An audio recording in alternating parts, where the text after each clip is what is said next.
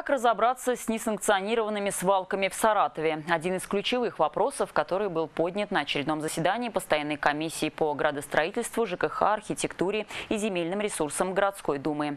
Горы бытового мусора то и дело появляются в разных частях областного центра. Особо остро стоит вопрос в частном секторе. Какие меры будут предприниматься, чтобы эта проблема исчезла? Подробности далее.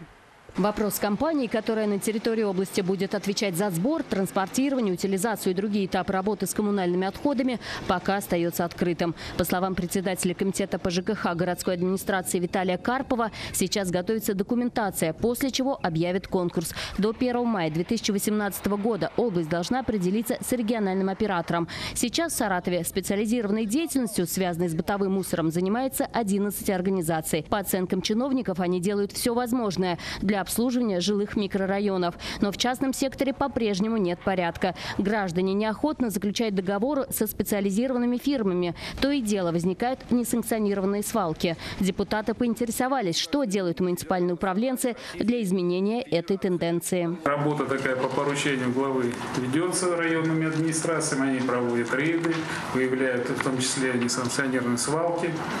Э, эти свалки ликвидируются, привлекаются общественники, проживающие на этих территориях. Э, проходит работа по разъяснению населения необходимости заключения договоров на вывоз мусора.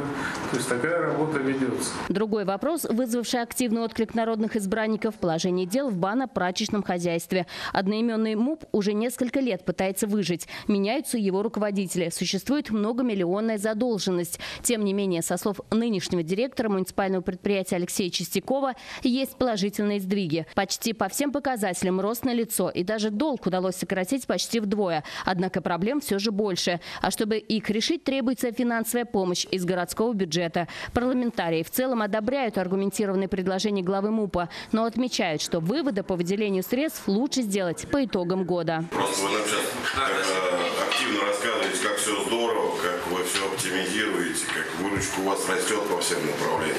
И тем не менее за прошлый год. В числе прочего депутаты отметили успешную работу городской аварийно-спасательной службы и наметили планы работы постоянной комиссии по градостроительству, ЖКХ, архитектуре и земельным ресурсам на второе полугодие.